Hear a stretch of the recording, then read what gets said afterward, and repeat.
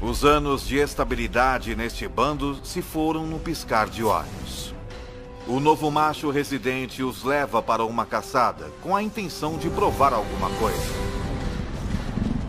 Hoje, eles não irão caçar um búfalo, mas algo bem mais substancial. Esta presa tem mais de 5 metros de altura, pesa 1.800 quilos. E com as pernas mais altas que o corpo todo dos leões, seu chute pode matar na hora.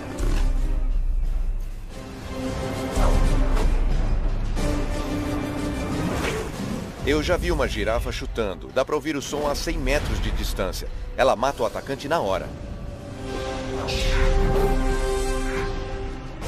Se eles quiserem abater um animal desse tamanho, os machos terão que se juntar à caçada. Não há regras que digam que os machos não caçam. Eles caçam, e eu já os vi caçando girafas, que são animais grandes. Mas é preciso trabalho em equipe para isso. Eles precisam do peso para derrubar essa fera. Uma girafa não é apenas forte e grande. Ela é rápida e ágil também. O grupo então precisará de uma estratégia única para ter sucesso. Eles terão que montar uma armadilha.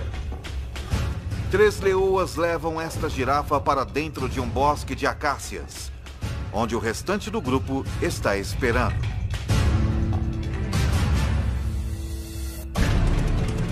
Ela está cercada pelos três lados por árvores e com os leões trancando o quarto lado. Sem ter para onde ir, a girafa começa a entrar em pânico.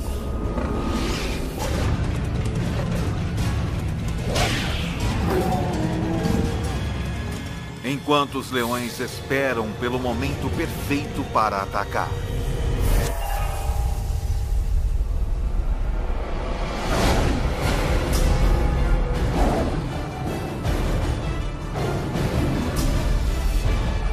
Mesmo com um bando todo contra ela, esta girafa não tem intenção de desistir facilmente.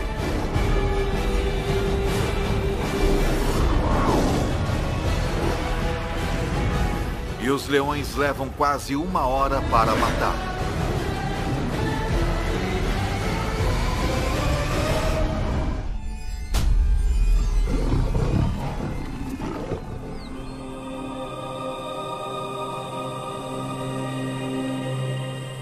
Enquanto o grupo se alimenta da girafa,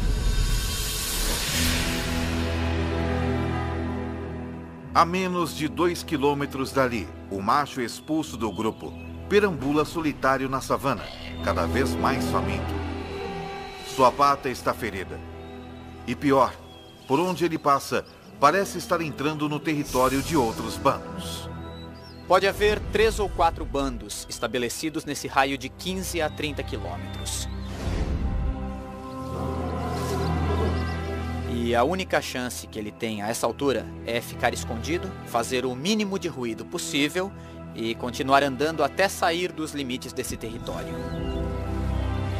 Ele costumava perseguir suas presas de forma furtiva, mas agora ele tem de ficar quieto para não ser morto. Quatro dias atrás, ele ingeriu quase 30 mil calorias. Mas gastando mais de 10 mil calorias por dia, ele tem poucas reservas. Num piscar de olhos, toda sua vida mudou.